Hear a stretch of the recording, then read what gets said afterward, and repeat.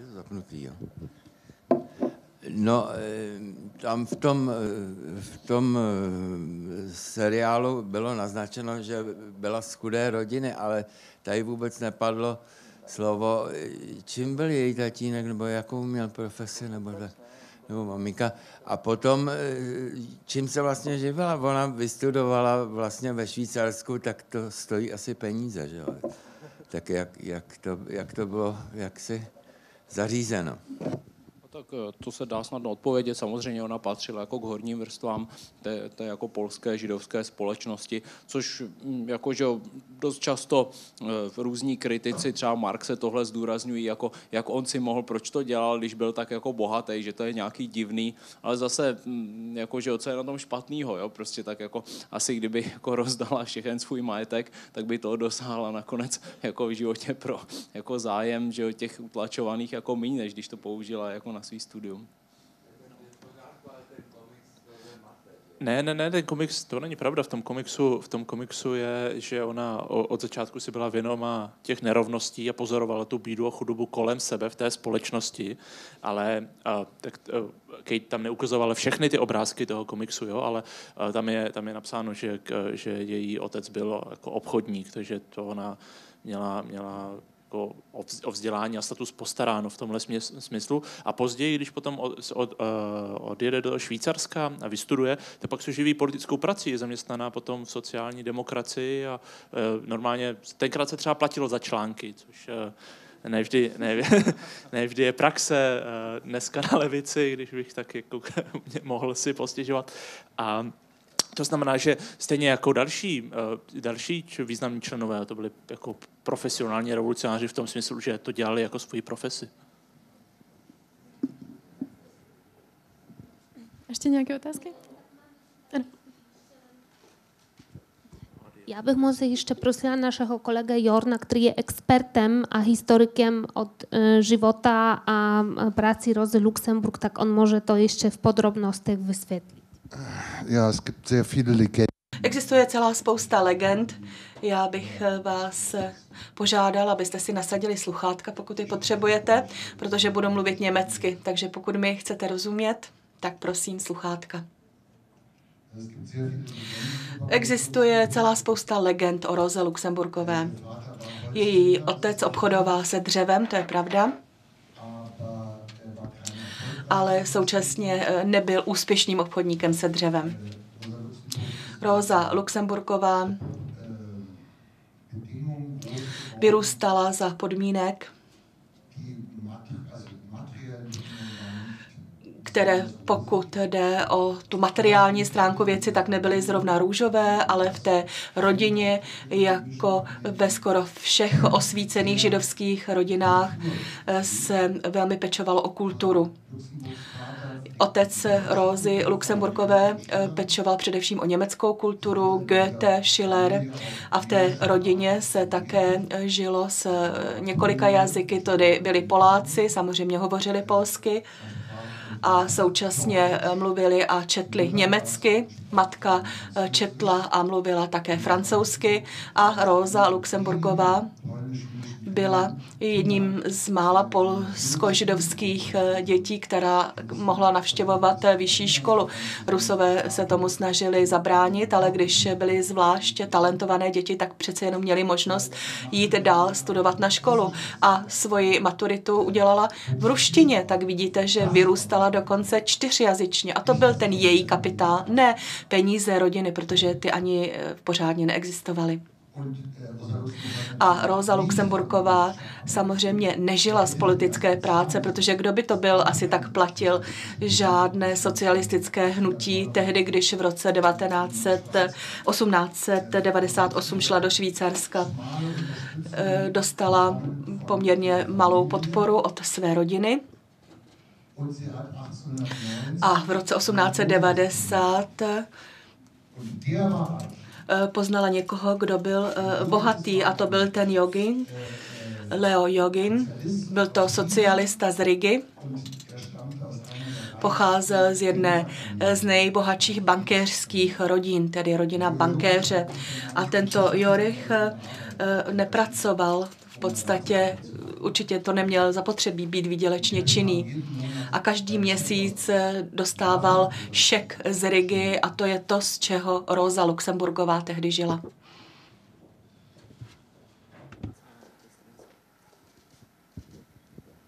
Eh, no já bych se, pokus, já bych se pokusil eh, takové tři v krátkosti otázky. Eh, možná mm, u tedy Honzy Májíčka je to ta otázka trošku toho, toho centristického proudu skautským. Ten vývoj, a já bych tady chtěl jenom, já trošku historicky skočím, teda, protože tam jsou e, jako i nějaké dlouhodobější souvislosti. Trošku maso, e, proběhlo to založení komunistické strany Německa s Luxemburkovou, e, Lipnechem, e, Jogichesem, ale skutečně jako výraznější síla i když jako je, to, je to ještě je samozřejmě složitější, se stala komunistická strana, až když se sloučila s nezávislou stranou Německa. A Miloš Hájek, jak si v té práci o Kominterně, tam je to velmi... Eh, takže vlastně část těch svým způsobem kolísajících někde kolem toho Kautského se nakonec přešla do komunistické strany Německa.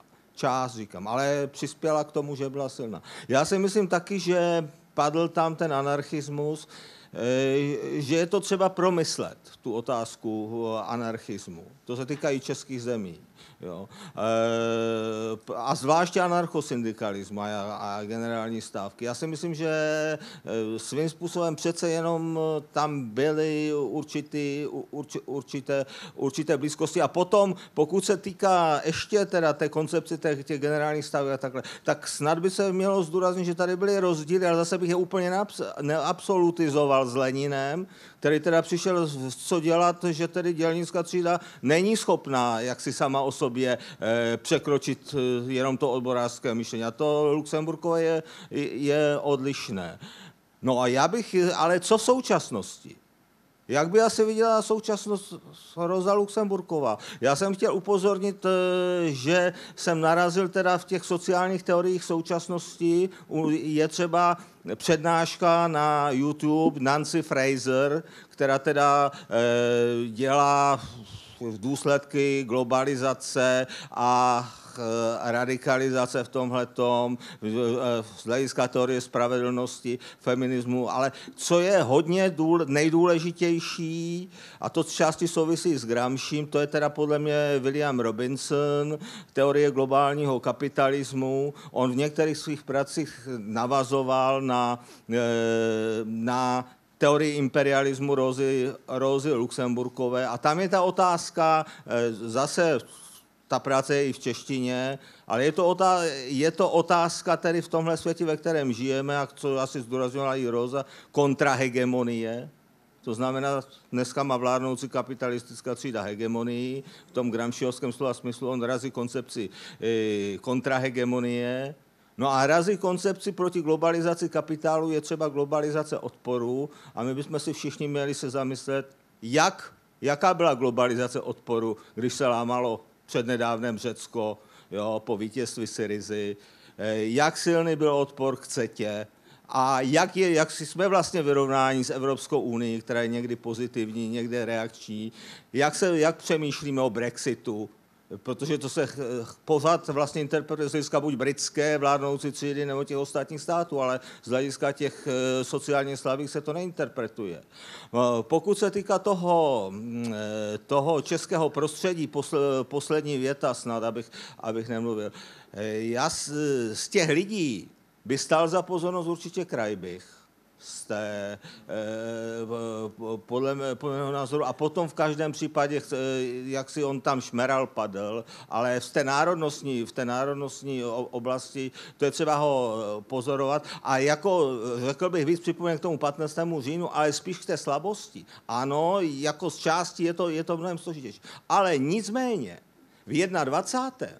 po 28. říjnu to byla na počet obyvatel nejsilnější komunistická strana. Nelí silnější než bolševická Česká. Dobře. Uh, Tak to, to nebyly úplně otázky, teda, ale já to zkusím nějak okomentovat. Uh, uh, jenom se vrátím krátce uh, k tomu, uh, co Jürgen říkal, měl pravdu, já jsem tam udělal jenom drobný skok, ona je potom zaměstnaná v pozdějším období na stranické škole a vyučuje v SPD. Mimochodem učí Friedricha Eberta taky a svého budoucího jako téměř, téměř popravčího. Takže, takže jenom, jenom, jenom k tomu doplnění.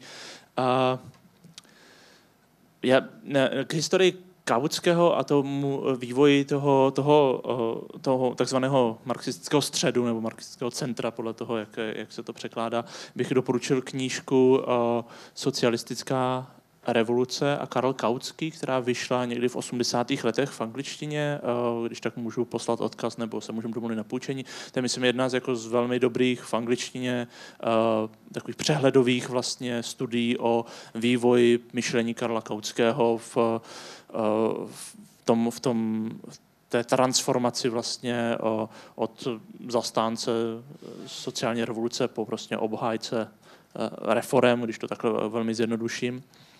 A, no co by dneska řekla Rosa Luxemburková na dnešní kapitalismus, tak uh, uh, není nic jednoduššího, než zkoušet přemýšlet o tomhle. A myslím si, že by, že by si byla vědomá, nebo že by vlastně byla věrná svojí metodě a že by zkoumala ty kontradikce uvnitř toho systému, který, který dneska jsou. A vlastně by docházela podle mě k závěrům, ke kterým dochází řada soudobých autorů a říká, že jsou jako mnohem drastičtější a mnohem násilnější, než byly ty za její doby. Že uh, se podívejte jenom na ekologickou katastrofu, kterou jako tenkrát eh, nepozoroval, tenkrát pozoroval, nebo Rosa Luxemburka byla svědkyní první světové války, jako obrovského vraždění a, a strašlivý krize toho systému, ale dneska máme eh, krizi, která jako v určitém smyslu překonává hrůzy první světové války v tom, že to není jenom konflikt, který by, kdyby se jednotlivé, kdyby se lidé vraždili navzájem, ale kdy ten systém tak, jak produkuje, a tak vlastně ohrožuje existenci celého druhu. Prostě může jako ohrozit existenci lidstva jako takového kvůli, kvůli, kvůli klimatickým změnám. To znamená, že pro ní by to byla potvrzení toho, to, toho základního Marxova předpokladu, že ten systém je inherentně stabilní a vede jako k vlastní destrukci a vedlo by to k tomu podle mě taky, že by říkal, no tak že socialismus nebo barbarství, že? tak jako máme tady jako jedno existenční ohrožení celého lidstva, anebo nebo můžeme společně, společně přitakat světu novému, zkusit eh, změnit ten systém eh, od základu. Tak to asi tak, co by mě k tomu napadlo. Mě jako eh, ještě napadlo na to, co by dělala dneska, tak my nesmíme zapomenout, že ona je produktem toho unikátního vlastně středoevropského multikulturního prostředí, který nepřežilo druhou světovou válku a e, že vlastně tady to zaznělo, jako ona vyrůstala v prostředí se čtyřmi jazyky. Jo? Tady dneska v dnešním světě jako skoro nikdo, aspoň v Evropě, nevyrůstá jako obklopen čtyřmi jazyky, což nepochybně jako bylo velmi intelektuálně stimulující a to už jako dneska v Evropě není. A nepochybně, pokud by jako to, to její kulturní prostředí nepřežilo holokaust a ty, kteří přežili holokaust, tak ty většinou skončili v emigraci ve Spojených státech amerických a tak jako to vidíme do dneška, že pak jako všichni co dostávají v Americe, co dostávali během druhé poloviny 20. století Nobelovy ceny, tak to byly jako velice často biografie prostě lidí hm, s židovskými kořeny prostě někde ve eh, středovýchodní Evropě. Eh, takže by asi byla dneska ten člověk jejího typu asi profesorkou na nějaké jako americké jako Ivy League eh, college. A ještě k tomu Kautskému, teda k tomu Krajbichovi, já myslím, že to je zajímavá postava, jo, i jako tím svým pozdějším životem, tím, že vlastně se dožil stalinismu a dožil se, dospěl k odmítnutí stalinismu a e, že t, On je ale asi specifický v tom, že se z nějakých důvodů rozhodl jako spojit svůj život s těmi českými zeměmi, s tou německou menšinou v českých zemích, že eh, spousta jiných jako chytrých Němců prostě odcházela do Německa. To nebyl ten Kautsky, ale třeba eh, já nevím, ten Talheimer, což byl takový významný taky kritik čo, stalinismu, tak to, to je v 20. 30. letech, tak to je taky člověk narozený jako eh, český Němec a prostě pochopitelně, když máte jako hm, národnostní menšinu, tak je to pro prostě chytrý hlavy, je to jako frustrující jako mít svůj život jako člen národnostní menšiny a vždycky je snažší, pokud máte někam odejít, tak se odebrat do země, kde můžete mít jako kariéru jako součást toho většinového etnika. Jo, proto to si myslím, že se týká jako třeba i tradice těch, jako řekněme, německých literátů, který působili v českých zemích, že prostě jako to být jako menšinovým literátem nebo, nebo někam odejít. Jo, takže to je asi, asi jako i v tom českým, německém prostředí jako nenajdeme srovnatelnou postavu. Ani tak jako jenom trošku srovnatelnou nenajdeme.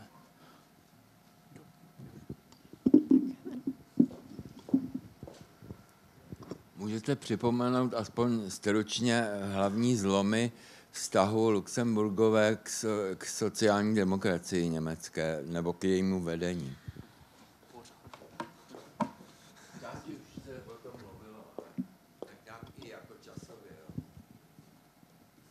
Uh, No, ten problém byl, že to byl skoro permanentní jako e, souboj, protože, jak, jak se to správně připomnělo, ona vstupovala do organizace, která byla e, rozsáhlá, veliká, měla svoji historii, a kde vlastně se ta debata o té taktice a strategii vedla pořád. To znamená, jako od počátku počátku toho 20. století přes právě uh, úplně, úplně na začátku uh, jako 1903, 4 až 8 uh, polemika o sociální reformě, sociální revoluci, potom debata o masové stávce, jak od roku 1906, co vyšla masová stávka, uh, dál po, polemika o o zahraniční politice, o koloniích, o imperialismu. To jako by vlastně byl, jo, to prostě není, to není tak, že by najednou přišel nějaký zlom a ona se se sociální demokracií roze, rozešla. Vlastně v rámci té velké masové strany se ta polemika, ta diskuze vedla vlastně pořád, jo? Vlastně co je, co je ten, co má být ten další krok, jako,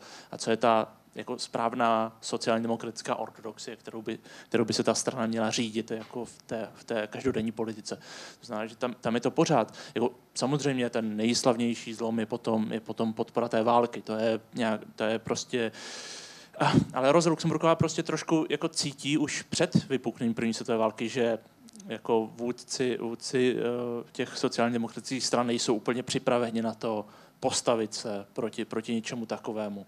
Jo, to znamená, že tam už před, eh, před, eh, před tím, ona má nějakou jako distanci a ne, ne, nechce, nechce úplně zatím jako veřejně, veřejně útočit, jo, ale myslím si, že, že, jí to, že, jí tam, že jí tam, že prostě sama vidí, že to není, že to není eh, na dobré, na dobré cestě. A potom, když tedy sociální demokracie hlasuje pro válečné úvěry, že jo, tak následně že jo, v tom společně s uh, Francem Meringem a, Karl, a Liebnechtem a další a Karolou Cetkinovou, tak jako zakládá tu, tu, ten časopis uh, interna, tu internacionálu, a který, uh, která, která vlastně vyjde, myslím, jenom jednou, protože pak ji hned samozřejmě státní, státní orgány zabaví, že jo, protože je to protiválečná agitace a v době, kdy císařství už je ve válce, to znamená, to je, to je, to je zabaveno a vlastně tam se pomalu tvoří nějaká, nějaké jádro, Eh, které, eh, které, které pak dá vzniknout, eh, nebo že, založí Spartakus svaz, který potom, který potom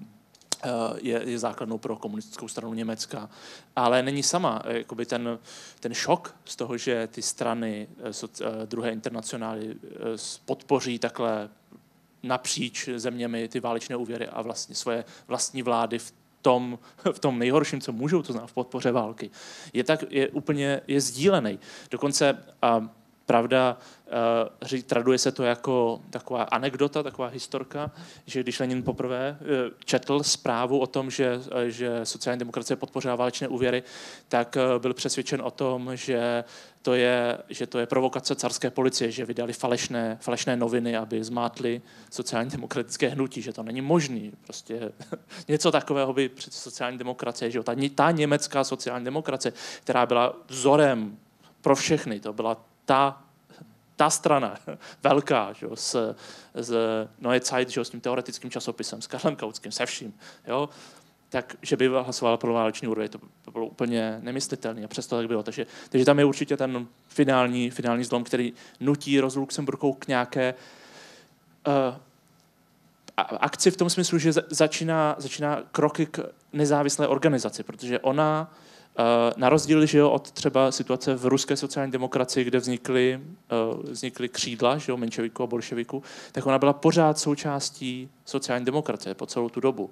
Vlastně k tomu jako frakčnímu boji nikdy jako takhle nedošlo až později. Možná mě by ještě napadlo jako tu otázku trošku převrátit a sice eh, jak by vypadaly dějiny nebo i život Rozy, eh, když by nebyla zavražděna. Jo? Jestli jestli by to třeba znamenalo, že by měla s Liebknechtem takovou autoritu, že by třeba představovala jako určitou bariéru k to, proti tomu, aby se komunistický hnutí dalo na stranu stalinismu, anebo, což se mně spíš zdá, že e, to bylo tak jako v tom hnutí předprogramovaný, že by spíš byla jako v rámci e, komunistické strany jako v, marginalizována, že by skončila jako mezi, mezi jinými odpadlíky, třeba jako že Trocký nebo ta jako, jako levá opozice. Jo, a pak samozřejmě, že, že po nacionálním socialismu, tak to, to by nepochybně musela utíct, pokud by nechtěla jako emigrovat. To by možná byla i otázka jako pro tady mm, velkého znalce jako života, života Rozy, jestli jako si můžeme klást otázku, jako jestli ona měla tolik, tolik možností, aby jako stáhla dějiny na nějakou progresivnější cestu, anebo jestli by byla mezi těmi jako zavrženými spíš.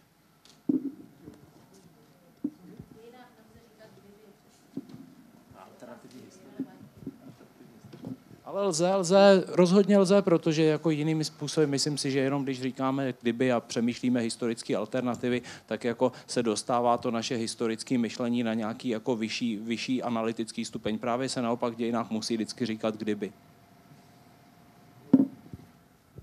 Ještě máme čas na velmi krátkou otázku. Eh, máme čas na velmi krátkou otázku. Mě napadla otázka.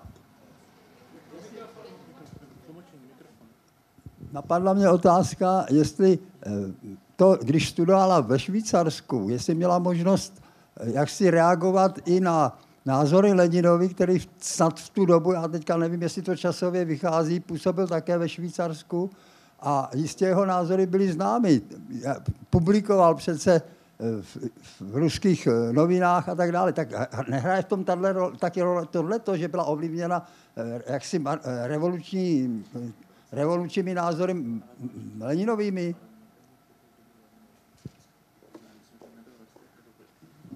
Já si myslím, že to nebyla stejná doba, kdy byla eh, v Rosa Lenin ve Švýcarsku, že se, že se, že se nepřekrývaly, že ona tam byla dřív než, dřív než on, že on, já bych teďka nechtěl, nechtěl hát, ale Lenin přichází do Švýcarska, on tam byl tak těch 14 let, že on, nebo 17 let, takže tam přichází tak 95 a to ona už dávno byla, že jo, eh, že jo jinde jako reagovali na sebe, ale spíš jako, spíš jako písemně, že jo?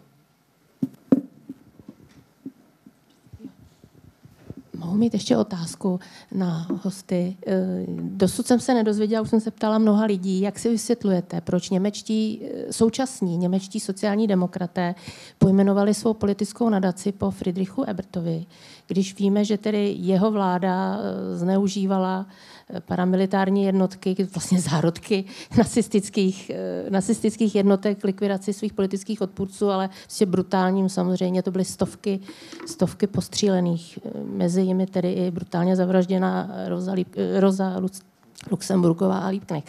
Tohle já nedokážu pochopit, jak si někdo dá do štítu který provozuje různé besedy, přednášky, výstavy, prostě osvětovou činnost. Toto jméno. A pak bych ještě chtěla komentovat ta Roza Luxemburková a dnešek. Já si myslím, že by se třeba musela pozastavit nad tím, jak může významný sociální demokrat, bývalý premiér jedné eh, evropské země, šéfovat vojenskému paktu, který má podle mě tedy agresivní plány a chystá válku. Jo. Takže to, ta Roza Luxemburgová byla dnes stejně kritická jako na počátku první světové války. Domnívám se já. Tak já neznám žádnou, já neznám žádné interní dokumenty německé sociální demokracie, na, na základě kterých si vybrali tohle jméno. Dá se odpovědět, možná někdo z větší znalostí německého kontextu bude znát tu pravou odpověď. Já bych řekl, že to byl prostě, že ten důvod je, že pro sociální demokraty to je první sociální demokratický premiér. To je prezident. Prezident. No, a premiér taky. No, to znamená, že to je jako dostatečně jako silná motivace. Jo, oni by zase říkali, že jako je tady nadace, která má jako název po fanatické komunice, která chtěla zavést bolševismus v Německu a gulagy a tak, tak jakoby, to je vlastně debata na trošku o metodologii, teda, kterou si vezmeme a musela by ta debata být trošku více, více a musely by tam být nějaké niance jako v, tom, v té diskuzi a trošku, trošku by se musela vést seriózněji, než, než, jenom, než jenom takhle. Uh, no, že z pohledu sociální demokracie vlastně eh, Friedrich Ebert eh, zamezil chaosu jo, v Německu po roce 1918. Byl, ať byl jaký byl, tak byl jako eh, v, v jediný vlastně jakoby demokratický nebo demokracii respektující prezident mezi válečného Německa, protože po něm i hned přišel jako Hindenburg, že řekněme, když se do nich jako zkusíme vcítit, tak jako on je tak trochu něco pro ně podobného jako Masaryk, když bych to přehnal. Jo? Že ve smyslu, že jako byl to ten pokus jako o demokracii, která, která nevyšla, tak jako k jakým, k jakým dalším tradicím, jo? že z pohledu, a nepochybně tam je taky ten kontext studené války, že samozřejmě ta nadace Friedricha Eberta vznikala v době studené války, kdy se prostě potřebovali odlišit i od toho, jako řekněme v úvozovkách bolševicky totalitního nebezpečí.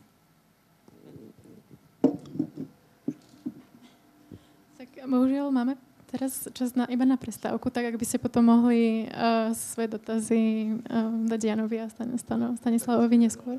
Ano, tak OK. Trošku promluvit. Eh, jak to bylo za války s Rozou Luxemburkovou? Tady byla zmínka, že byla nějak ve vězení, ale že byla propouštěna, protože jako jestliže nějak otevřeně brojila proti válce, tak to, to bylo na vysoké tresty, že vlastně jako vlasti zrada.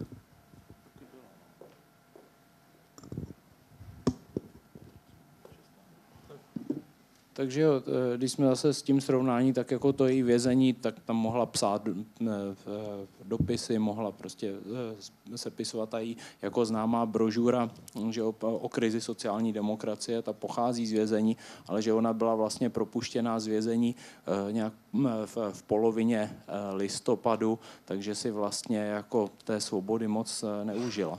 Jo